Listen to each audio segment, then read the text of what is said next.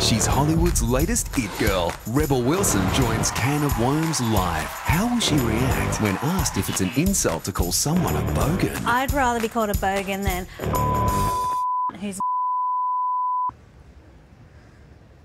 Can of Worms live, 8.30 tomorrow on 10.